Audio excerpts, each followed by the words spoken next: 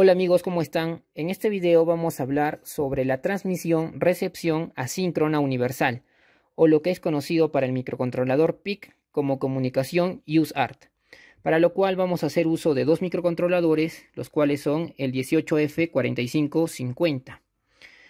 Esto quiere decir que vamos a utilizar parte del protocolo RS232. Ya habíamos visto una aplicación para la comunicación de dos PICs en un video anterior.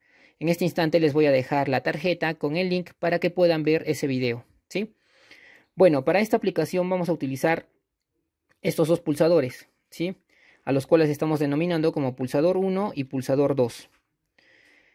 Estos pulsadores van a ir conectados a los pines RB0 y RB1 del primer microcontrolador, mientras que en el segundo microcontrolador vamos a tener conectados estos 8 LEDs, los cuales vamos a conectar al puerto B. Sabemos que el puerto B es de 8 bits, por eso podemos conectar cada LED a cada bit. ¿Sí? ¿Qué más? Mm, ya, como es una comunicación USART, vamos a comunicar o vamos a conectar los pines de transmisión y recepción del primer microcontrolador hacia los pines de recepción y transmisión del segundo microcontrolador. Ya sabemos que la comunicación tiene que ser cruzada. Eso quiere decir que en el primer PIC vamos a conectar el pin TX al pin RX del segundo microcontrolador. Del primer microcontrolador vamos a conectar el pin RX al pin TX del segundo microcontrolador. ¿Sí? La comunicación cruzada. Bueno, cuando presionemos el primer pulsador, el primer microcontrolador va a enviar el carácter de 1 hacia el segundo microcontrolador. Cuando el segundo microcontrolador recepcione este 1, va a iniciar la secuencia de LEDs o encendido de luces. Y esta no se va a detener, pues va a tener siempre en su buffer el carácter 1. Eso quiere decir que la secuencia va a ser indefinida. Pero si es que yo presiono el segundo pulsador en el primer microcontrolador, voy a enviar el carácter 2. Este carácter 2 va a ser recepcionado por el segundo microcontrolador y va a poner todos los pines del puerto B a nivel bajo. Eso quiere decir que la secuencia de LEDs se va a apagar y va a seguir apagada mientras esté recepcionando el carácter 2. Pero si es que yo vuelvo a presionar el pulsador 1, estaría enviando el carácter 1. Eso quiere decir que la secuencia de LEDs volvería a iniciar. Entonces, ahora voy a apretar el pulsador 2 para que la secuencia de LEDs se desactive. En ese instante lo presioné, eso quiere decir que el primer pulsador, o mejor dicho, el primer microcontrolador ha enviado el carácter 0 al segundo microcontrolador y esto ha hecho que se apague la secuencia de LEDs. Ahora voy a apagar mi, mi lámpara para que se vea un poquito mejor. Ahora, si presiono el primer pulsador que tenemos aquí, se tiene que inicializar otra vez la secuencia de, de luces, ¿sí? Entonces voy a presionar el primer pulsador y vemos que efectivamente la secuencia de luces ha vuelto a iniciar. De esta manera estamos demostrando que la comunicación USART se ha programado de manera adecuada y es por eso que nuestros LEDs están siguiendo la secuencia de acuerdo a la programación. Ahora voy a volver a presionar el segundo pulsador y se detuvo la secuencia, ¿sí? Presiono el primer pulsador y reinicio la secuencia. Ahora vamos a ver un poco de teoría del uso de las funciones en CCS Pixie Compiler y la programación. Entonces vamos a hablar de la transmisión-recepción asíncrona universal, o conocida como UART. Para el microcontrolador 18F4550, esta comunicación es conocida como UseArt. ¿sí? Para usar la comunicación serie en CCS, en Pixie Compiler, se utiliza la directiva RS232. Esta es la directiva entonces que debemos digitar, que es numeral use RS232. Dentro de los paréntesis vamos a tener todas estas opciones. La primera, que es Baud, nos va a ayudar a establecer la velocidad de transmisión que generalmente es de 9600, pero esto va a depender de, los dispositivos que queramos enlazar o comunicar. ¿sí? Si es que vamos a querer comunicar dos microcontroladores, como es en nuestro caso, vamos a utilizar esta velocidad. Los bits. Eh, el número de bits que utiliza la transmisión, según el estándar, eh, puede ser entre 8 a 9 bits. USART, para la comunicación entre dos microcontroladores, utiliza 8 bits. ¿sí? Paridad. No vamos a utilizar un bit de paridad para la comunicación entre microcontroladores. Por eso, esta opción la vamos a cargar con un no o con una n simplemente.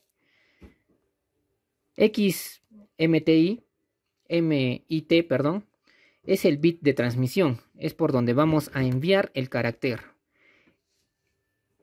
El pin de transmisión para el microcontrolador 18F4550 está asociado al bit RC6, mientras que para el 18F2550 también está asociado a ese bit, el RC6, ¿sí? Eso para la transmisión, mientras que para la recepción tanto para el 18F4550 como para el 18F2550, el pin de, de recepción, perdón, el pin de recepción está asociado al bit RC7, ¿sí? Para los dos microcontroladores. Luego, las funciones de entradas y salidas que podemos manejar en Pixie Compiler, ¿sí? Hemos dicho que vamos a trabajar con el protocolo RS232, ¿sí?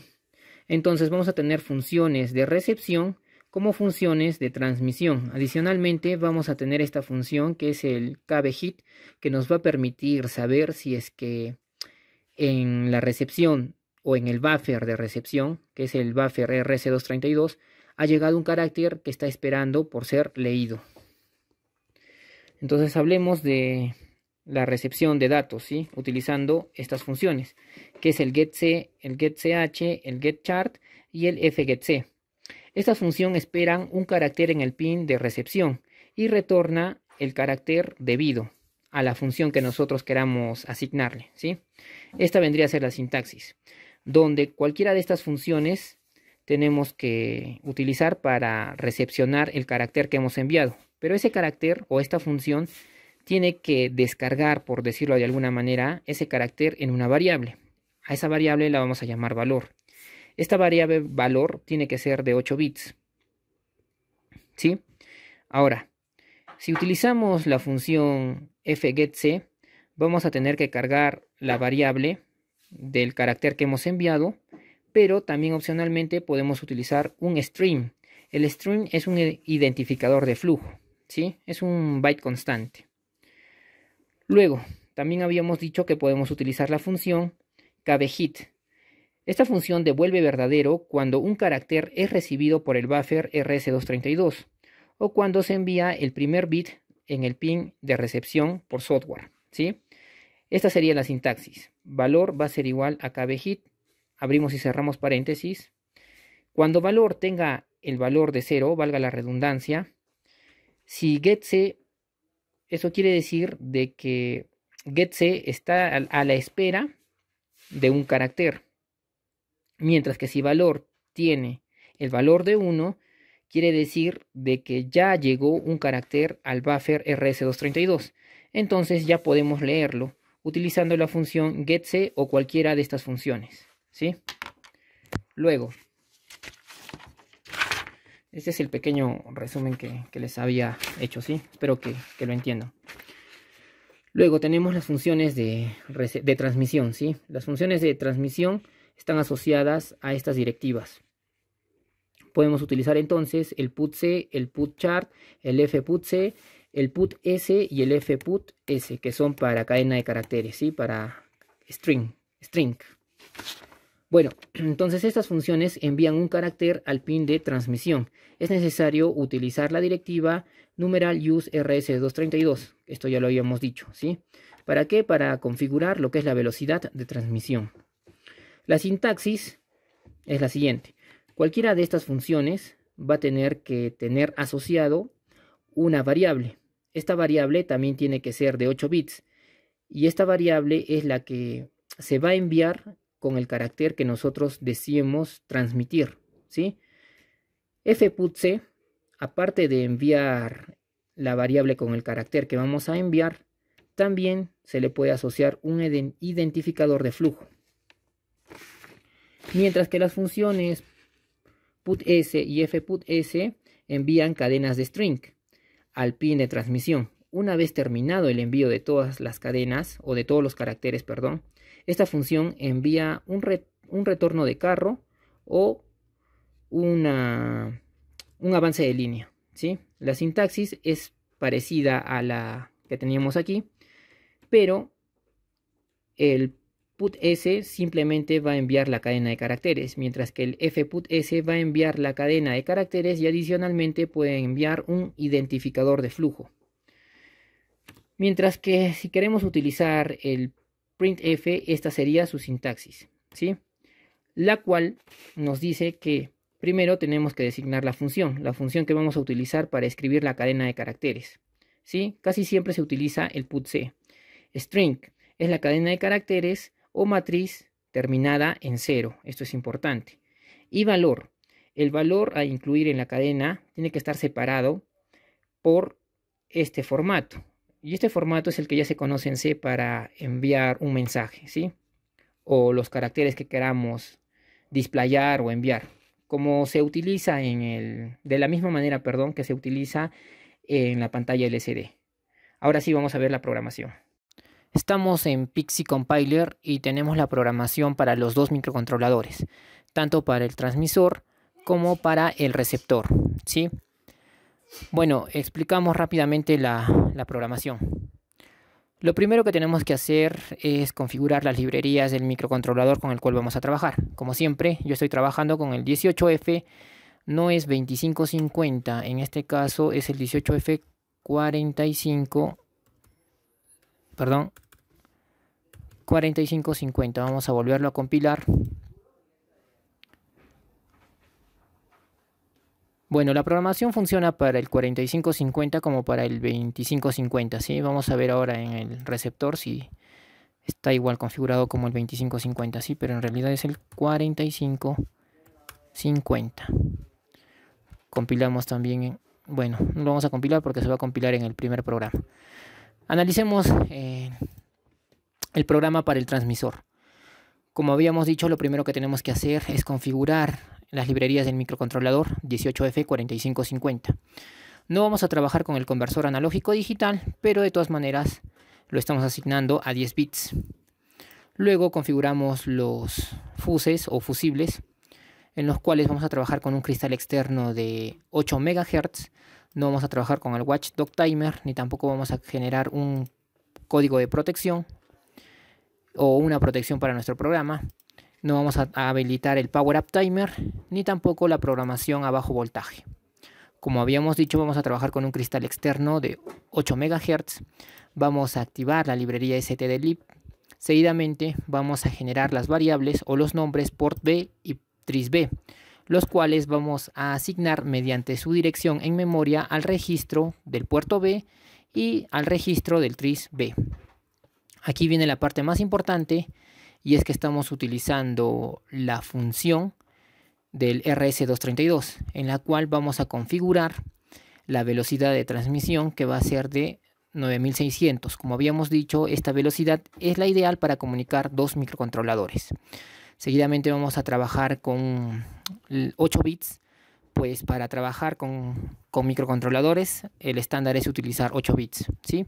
No vamos a utilizar un bit de paridad, vamos a configurar el pin de transmisión al bit RC6, mientras que el pin de recepción va a configurarse al bit RC7, ¿sí? del puerto C obviamente.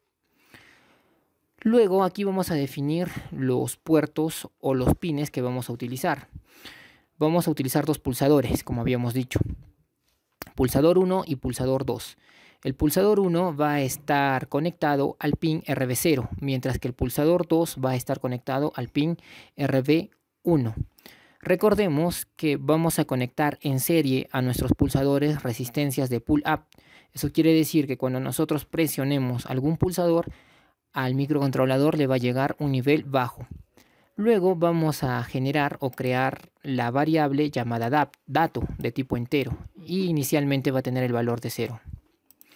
Luego vamos a generar dos funciones antirrebote, ya que vamos a utilizar pulsadores. Recordemos que los pulsadores, después de presionarlos, eh, envían datos aleatorios, ¿sí? Esto es por el ruido mecánico que producen estos pulsadores. Pueden enviar unos o ceros y eso puede interferir en la programación o en los caracteres que nosotros deseamos enviar. Y es por eso que estamos creando estas dos funciones antirrebote. Una para el primer pulsador y la segunda, obviamente, para el segundo pulsador. Luego vamos a pasar a la función principal. En la función principal vamos a configurar el registro TRISB para declarar como entradas a los pines RB0 y RB1, donde vamos a conectar nuestros pulsadores, como ya habíamos dicho. Seguidamente vamos a entrar al bucle infinito, en el cual vamos a poner la siguiente condición. Si es que pulsador 1 está en 0 y pulsador 2 está en 1, entonces vamos a entrar a la función antirrebote del primer pulsador. ¿Qué quiere decir esto? Como habíamos dicho que nuestras resistencias que están en serie, los pulsadores están en pull up, eso quiere decir que siempre le está llegando un nivel 1 o un nivel alto al microcontrolador. Aquí es que yo estoy preguntando, en otras palabras, si el pulsador 1 ha sido presionado, entonces el pulsador 1 es 0, ¿sí? Eso quiere decir que el pulsador 2 no ha sido presionado. Por eso tiene un nivel lógico alto o 1, ¿sí? Como he presionado el primer pulsador, entonces voy a entrar a la función antirrebote para que me filtre este, este ruido mecánico eléctrico, ¿sí? Si es que se ha presionado, en otras palabras, el primer pulsador, voy a cargar a la variable dato con el valor de 1.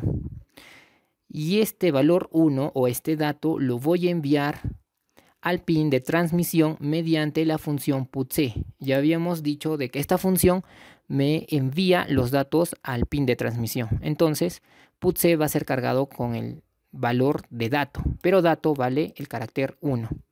Luego vamos a generar un retardo de 10 milisegundos. Si es que no se cumple esta función, o esta condición, perdón, preguntamos por la siguiente condición, la cual dice, si pulsador 2 ha sido presionado y pulsador 1 no ha sido presionado, entonces vamos a la función antirrebote. Y seguidamente vamos a cargar la variable dato con el carácter 2 o con el valor de 2. En este caso con el valor de 2, pues porque vamos a enviar un, valor de tipo int, ¿sí? Pero el momento de hacer la transmisión se va a convertir en un carácter. En fin, como vamos a cargar el valor de 2 en dato, vamos a utilizar una vez más la función putse y dentro de esta función vamos a enviar el valor de dato hacia el pin de transmisión. Generamos el retardo de 10 milisegundos y se repite la función o el bucle infinito. Ahora vamos a ver lo que es la programación del transmisor, del receptor, perdón. Esta es la función del, o la programación del receptor. Perdónenme por, ando pensando en otras cosas, es que estos días he estado sin mucho tiempo, en fin. Ya, estamos en la programación del receptor. Como siempre, primero configuramos las librerías del microcontrolador que vamos a utilizar, 18F4550. No vamos a trabajar con, el conversor ADC. Configuramos los fuses. Seguidamente vamos a trabajar con un cristal externo de 8 MHz. Volvemos a habilitar la, la librería stdlib. Una vez más vamos a declarar los nombres port B y tris B para las directivas o la dirección de estos registros en memoria. Luego, esto era lo más importante, tenemos que poner esta sintaxis para declarar la función de transmisión y recepción mediante useart, ¿sí? con numeral use rs232. De la misma manera que en el transmisor tenemos que eh, configurar la velocidad en el receptor. Eso quiere decir que vamos a trabajar con 9600 baudios, vamos a utilizar 8 bits de paridad, perdón, vamos a trabajar con 8 bits de transmisión y recepción, no vamos a utilizar un bit de paridad, vamos a trabajar con el pin de transmisión asociado al bit RC6, mientras que el pin de recepción va a estar asociado o asignado al bit RC7. Luego aquí también vamos a generar una variable que la vamos a llamar dato, que nada va a tener que ver con la variable dato del primer, del primer microcontrolador. Y aquí estoy generando una variable de tiempo, ¿sí? Eso es para, para la función, para las funciones de secuenciales para nuestros LEDs, para el encendido de los LEDs, ¿sí? Después, y esta parte es importante que no les había dicho cuando estaba explicando un poco de las funciones en CSS para la transmisión y recepción de datos en Pixie Compiler. Cuando nosotros recibimos un, un carácter, ¿sí?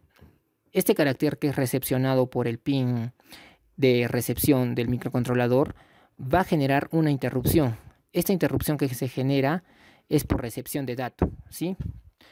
Pero la sintaxis para utilizar la función de, de interrupción asociada al protocolo RS2, RS232 viene con esta directiva, la cual es numeral int de interrupción guion bajo RDA, ¿sí?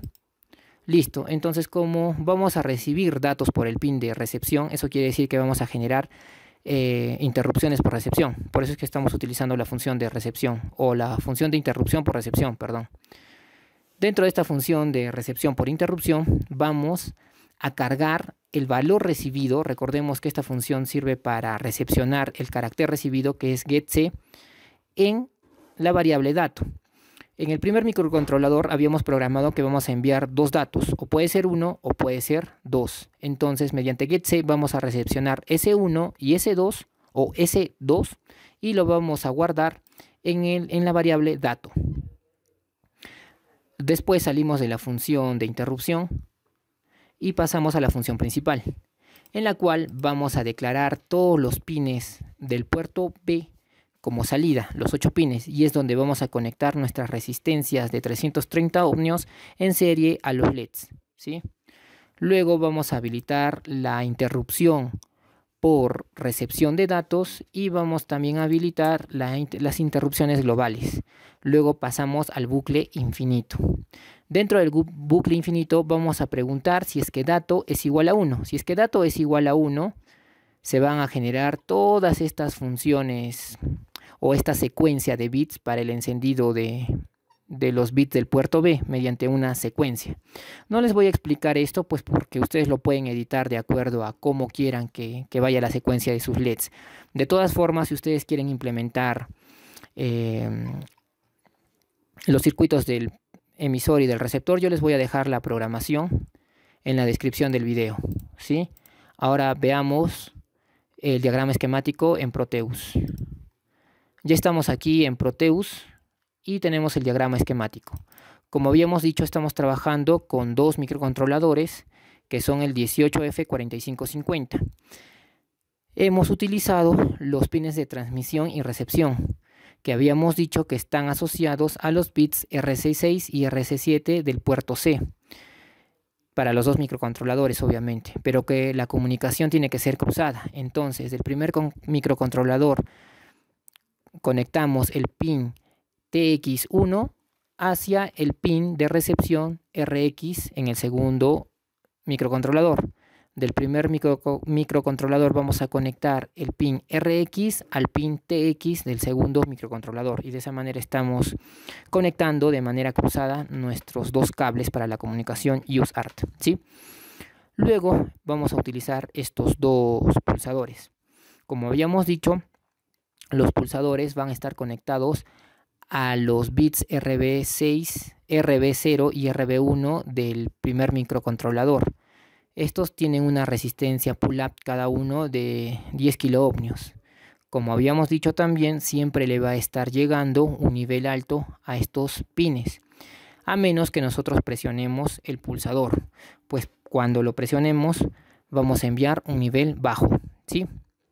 Entonces, en el segundo microcontrolador debería haber conectado 8 LEDs con sus respectivas resistencias en los pines del puerto B. Pero como les dije, no tengo mucho tiempo ahora, así que solo he conectado uno y vamos a apreciar eh, los niveles lógicos en cada uno de los demás pines. ¿sí? Entonces ahora le voy a dar play a la simulación. Voy a acercarme un poco más. Ahora estamos apreciando que los 8 bits del segundo microcontrolador exactamente en el puerto B están a nivel bajo. Si es que yo presiono el primer pulsador que está conectado al primer microcontrolador, voy a inicializar lo que es la secuencia de LEDs. ¿Por qué? Pues porque voy a enviar el carácter 1 del primer microcontrolador al segundo microcontrolador. y habíamos dicho que el carácter 1 va a inicializar la secuencia de luces. Lo voy a presionar y vemos que efectivamente la secuencia ha comenzado, ¿sí? El estado lógico 1 está representado por el cuadrado por el cuadrado de color rojo, mientras que el estado lógico 0 está representado por el cuadrado azul. ¿Sí? Entonces la secuencia se está ejecutando en este instante. ¿Qué pasaba si es que yo presionaba el segundo pulsador? Eh, hacía que yo enviase el carácter 2 hacia el segundo microcontrolador y el carácter 2 lo que va a hacer es poner a cero el puerto B. Lo voy a presionar y efectivamente puso a cero el puerto B. Si es que yo vuelvo a presionar el primer pulsador, estaría enviando el carácter 1 hacia el segundo pulsador y eso haría de que se reinicie la secuencia de LEDs. Voy a presionar en este instante el, el primer pulsador y efectivamente vuelvo a inicializar la secuencia de LEDs. ¿Sí? También les voy a dejar el diagrama esquemático, pues si quieren implementar estos dos circuitos. Espero que el video les haya ayudado. No se olviden de suscribirse, darle like y dejar algún comentario. Muchas gracias.